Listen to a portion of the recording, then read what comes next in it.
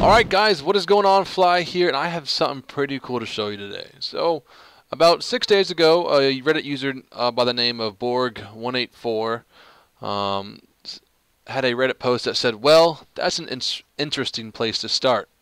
And so what he found out that if you, hang on let me get a, uh, he said, if you load up the Battle of Britain map with uh, Germans in custom battle and you choose the G6 and set it up so you're out in the sea, you can start off um, on a German or a Axis aircraft carrier. And today I'm going to show you some pictures and talk to you about what this aircraft is or who made it and who used it. So let's get into it. Alright, so we're going to start off with some screenshots. I do have video gameplay, but I wanted to show you guys how I identify this aircraft carrier and who it was made by.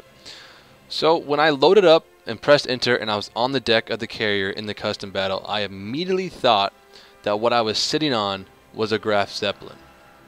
Now the Graf Zeppelin is a pretty well known Nazi aircraft carrier from World War II. And as I looked more at what I was sitting on in game and what I was looking at looking at on the web, it didn't really add up.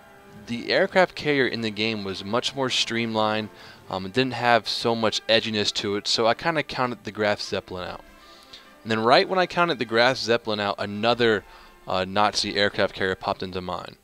So this carrier was called the KMS Europa, which was a converted passenger cruise liner into an aircraft carrier. And so when I looked up the KMS Europa up online, um, I thought that this ship was it. I thought I nailed it right on the head because what I was looking at on the internet was exactly what I was on in the game. But as I look a little bit closer, I noticed two main differences. So as we can see on the KMS Europa, its radio tower is a lot less busier than the carrier in the game. And then the second difference is that the KMS Europa's bridge is a lot lower to the deck. Um, there's less levels on the KMS Europa than the aircraft carrier in the game. And with finding these two flaws, I knew it was in the KMS Europa. And so I'm looking around the aircraft carrier trying to figure out what is it.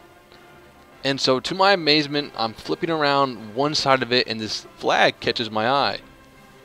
And it's not a flag that I'm, you know, I'm used to seeing a German, American, um, Japanese, British flags. And then I spot this Italian flag on the bow of this aircraft carrier.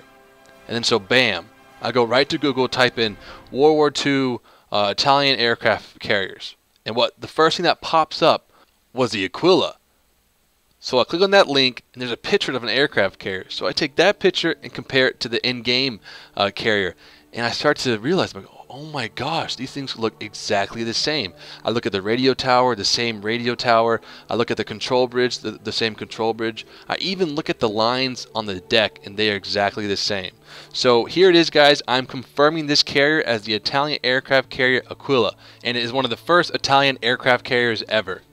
And realizing that Germany has an aircraft carrier in War Thunder, leads us to suspect that in future future updates we're going to be seeing BF-109T variants and Ju-87C and D variants. Those are the naval planes that have tail hooks. And that's just to name a few.